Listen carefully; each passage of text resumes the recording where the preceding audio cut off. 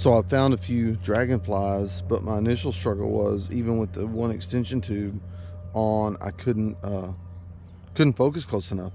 So I had to add another extension tube and still this lens setup will only let me focus maybe 10 feet away, which is closer than it would normally, but it's uh, still a little bit of a challenge.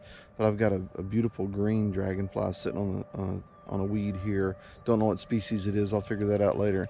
But besides the dragonfly, there's also all kinds of cool stuff around this pond. So I'm gonna spend the morning out taking pictures of frogs and some plants and dragonflies and whatever else I can find. It's literally a 300 yard walk around this pond. So it's gonna be a great uh, way to spend a summer morning and and watch the sun come up. The sun just came up a few minutes ago, so it's starting to, we've got a, a row of trees that kind of protect this pond for the first uh, 30 minutes to an hour or so of sunrise. And so once the sun gets up and starts drying everything out, these dragonflies will be flying around a lot more and I probably won't be able to get a picture of them. So uh, let's just see what happens and uh, looking forward to a great morning.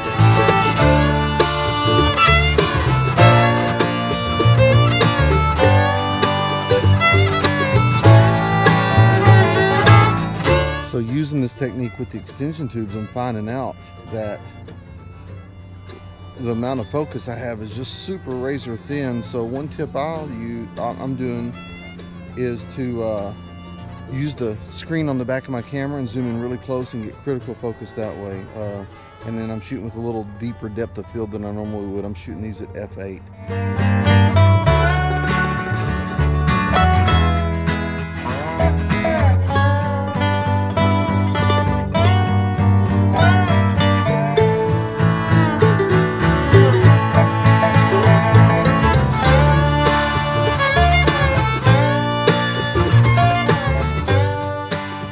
I'm out in the sun now and the sun's coming up and it's starting to get warm this morning. But one of the techniques I've noticed as I've worked my way around this pond is if you see a dragonfly and they fly up, a lot of times they'll just fly around in that same area. And then if you'll stop and just be still, they'll alight back on the stick or the weed that they flew up from, or it, will be somewhere close. So I've been able to use that technique with pretty good results throughout around this whole pond. And uh, man, it's amazing, you know, just how much life it lives around this pond if you just slow down and pay attention to it all.